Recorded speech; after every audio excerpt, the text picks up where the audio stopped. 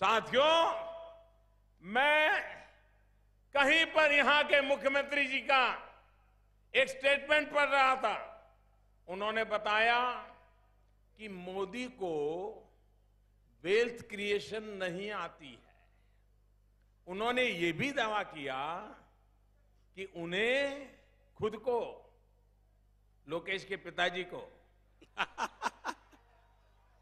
Wealth creation आती है।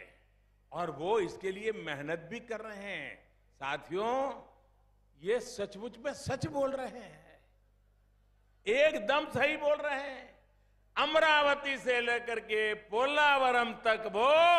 इसी चक्कर में तो है ताकि उनकी अपनी वेल्थ क्रिएट हो और इसलिए चौकीदार से जरा उनको परेशानी हो रही है మిత్రులారా ఏ మహా కూటమి అని చెప్పి ఒక ఒక ఒక కలుషితమైనటువంటి కూటమిలో వెళ్ళి చేరుతున్నారో వీరందరికీ ఒకటే ఉద్దేశం తమ స్వార్థాలని కాపాడుకోవాలని తమ రాజకీయాల్ని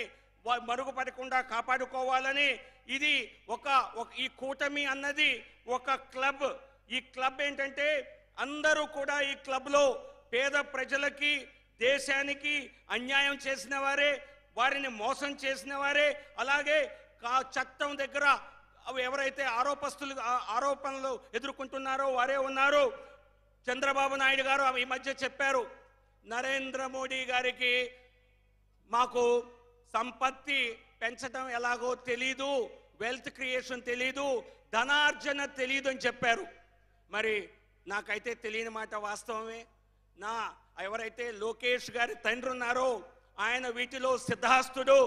అమరావతి నుంచి అమరావతి నిర్మాణం నిధుల దగ్గర నుంచి పోలవరం నిధుల నిర్మాణం దాకా అన్నిట్లోనూ అనేక రకమైనటువంటి ఇబ్బందులు ఎదుర్కొన్నారు ఎందుకంటే నేను వాచ్మ్యాన్ లాగా చౌకీదార్ లాగా చాలా ప్రశ్నలు అడిగే తత్వం ఉన్న మనిషిని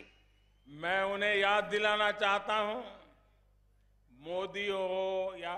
कोई और हमारा दायित्व अपने लिए वेल्थ क्रिएशन का नहीं है बल्कि देश की वेल्थ का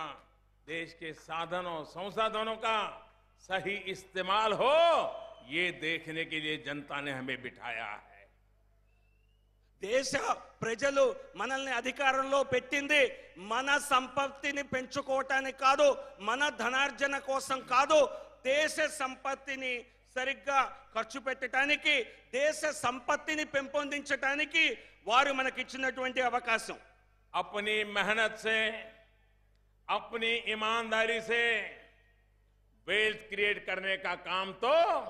हमारे युवा हमारी बेटियां हमारे किसान हमारे उद्यमी कर रहे हैं हमें तो उन्हें पारदर्शी व्यवस्था देनी है अवसरों की समानता देनी है हम सभी युवाओं को सभी बेटियों बेटियों का ध्यान रखते हैं। सिर्फ़ अपने बेटे बेटियों का नहीं